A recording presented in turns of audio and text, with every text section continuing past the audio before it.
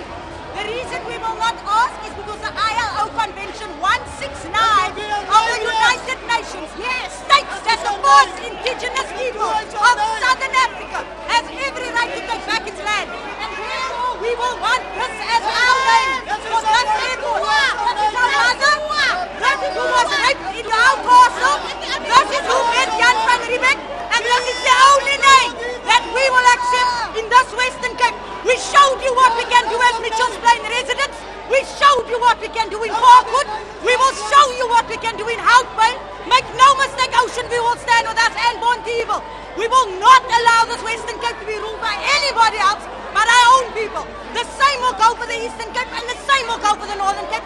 It is our land and we will take it piece by piece or you will live with us peacefully as we have done for centuries with you. You will not come in here and dictate to us as the First Nation. We're telling you,